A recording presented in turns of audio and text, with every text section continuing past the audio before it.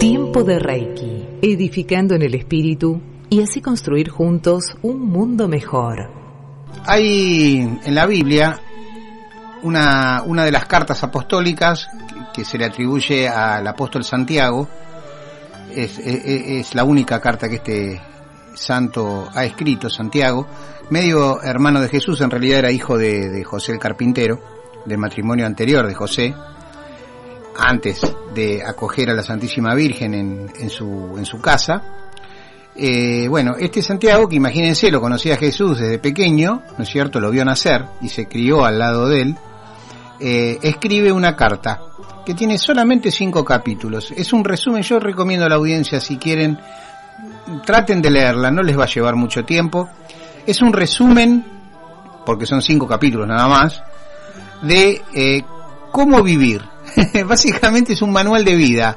Eh, para los que entienden, entienden de empresas, eh, sería el manual de organización y métodos de la vida. Si vos lo seguís, difícil que te equivoques, che, difícil que te equivoques. Y Santiago, en una, en una de, los pasajes de esa carta, hablaba justamente de cómo tiene que ser una persona eh, ante los demás, cómo me tengo que comportar con el resto, con los que a mí me rodean, ¿no es cierto? Eh, y él toca temas muy sensibles en esa carta, pero muy sensibles, ¿eh?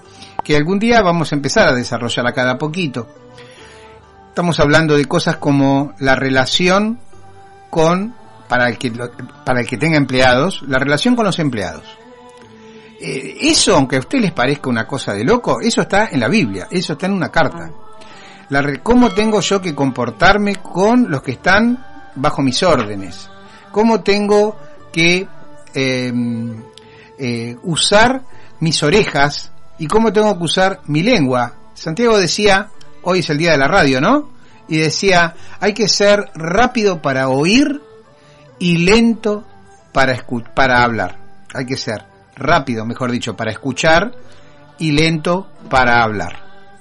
Porque cuando a veces nosotros estamos en una conversación, alguien nos está hablando, nos está contando algo, y ya nosotros estamos elaborando una respuesta previo a dejar que la persona termine de hablar y nos diga exactamente qué nos quiere decir. Entonces es una conversación de locos. Alguien dijo una vez que la anatomía del cuerpo es tan perfecta que nos dio dos orejas y una boca. Y una boca. Pero Santiago también dice que esa, la lengua, siendo tan chiquita y tan frágil a la vez, es como una chispa que incendia bosques. Mm. claro. ¿Eh? La, con la lengua se puede hacer mucho bien y también se puede hacer mucho mal. Tiempo de Reiki, edificando en el espíritu y así construir juntos un mundo mejor.